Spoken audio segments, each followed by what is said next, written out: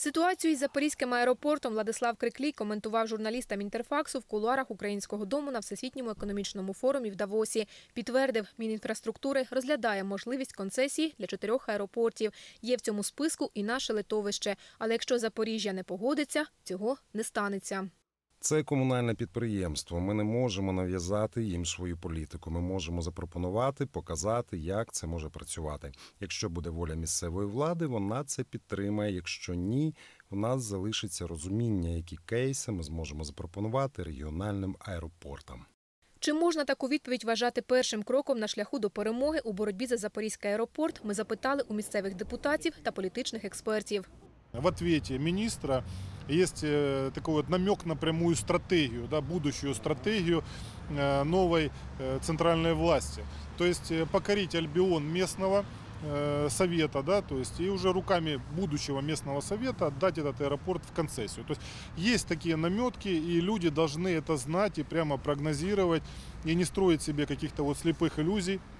Вот, потому что при смене городского совета, тем более если большинство будет как раз таки да, вот, э, каким-то образом э, партийно относиться к новой ветке власти, Нагадаємо, 17 січня СБУ провела обшуки в аеропорту та вилучила документи щодо будівництва нового терміналу. Хоча вони не стосуються тієї кримінальної справи, за якою проводили слідчі дії. Через це підрядник, котрий працює на об'єкті, зупинив усі роботи. Політичні експерти і депутати міської ради пов'язують перевірки силовиків із намаганням держави забрати аеропорт у міста та передати його в концесію. Експерти називають таку ситуацію політичним тиском на місцеву владу. Міський голова Володимир Буряк зробив заяву щодо неможливості передачі аеропорту у власність інвесторів. А керівництво аеропорту звернулося до СБУ з вимогою повернути вилучені документи, які стосуються будівництва терміналу, оскільки це гальмує вчасну здачу в експлуатацію та запуск нових міжнародних рейсів. аэропорт должен быть разблокирован. Должна быть возвращена э, документация техническая для того, чтобы аэропорт начал работать. Там фактически завершились работы на финальном этапе, буквально там, как говорят, лампочки.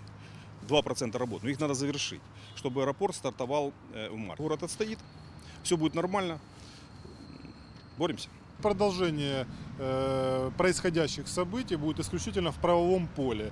Да, то есть э, это и будет юридическая баталия больше да, там, в судах и на местах. Наша задача э, добиться того, чтобы аэропорт был сдан в срок, а правоохранители не ставили палки в колеса.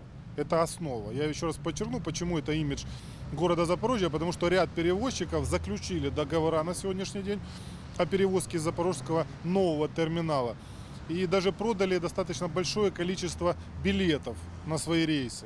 Також керівництво аеропорту вже звернулося до НАБУ та САП щодо неправомірних дій слідчих СБУ. Адже за законом лише детективи антикорупційного бюро мають право розслідувати цю кримінальну справу. Анна Крамаренко, Ірина Хомуцька, Микита Дейнега, телеканал ЗЕТ.